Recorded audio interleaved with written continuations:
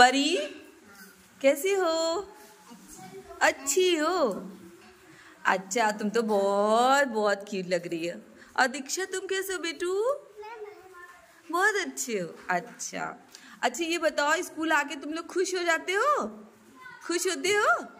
School अच्छा लगता है?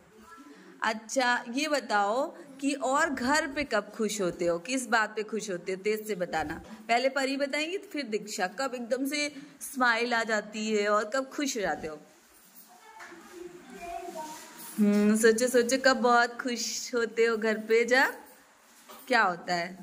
जल्दी बताओ। जब पापा गुदगुदी लगाते हैं यानी जब पापा प्यार करते हैं? और और दीक्षा, तुम कब सबसे ज़्यादा खुश होती हो? जब मम्मी अपने पास बुला के प्यार करती हैं तो खुश हो जाती हो? अरे वाह, ये दोनों लोग तो बहुत प्यारी हैं। अच्छा और तुम लोग रोते कब हो?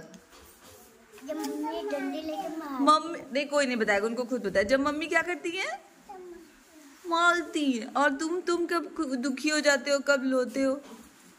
कब रोती हो बताओ?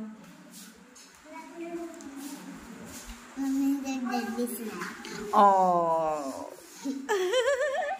जब पापा किसी गुदगुदी लगा के प्यार कर लेते हैं तो परी खुश हो जाती है और दीक्षा तब खुश होती है जब मम्मी उनको प्यार करने के लिए अपने पास बुलाती है ना? Very good